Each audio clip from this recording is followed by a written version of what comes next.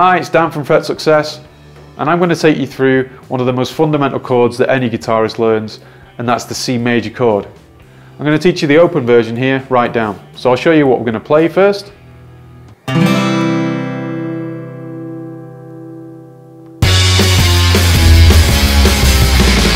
So playing through that, we want to miss the top E string or mute it, and we'll mute it using our third finger there on the third fret on the A string. So we get this kind of sound. So you can hear it, but when you play the full chord, you can't hear it. Or the other option is you don't play that top string at all.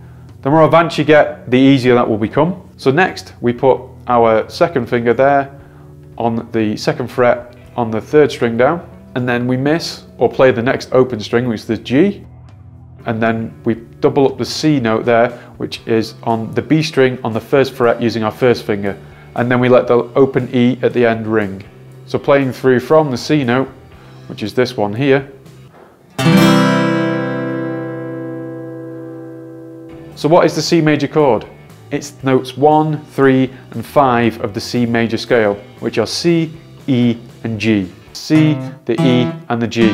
And then we just double up other notes.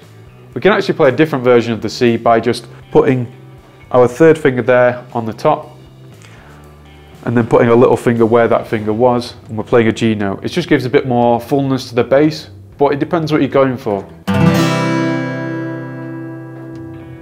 I hope that's been useful. Don't forget to join the Fret Success Academy on the website. It's all free and I'll see you in the next video.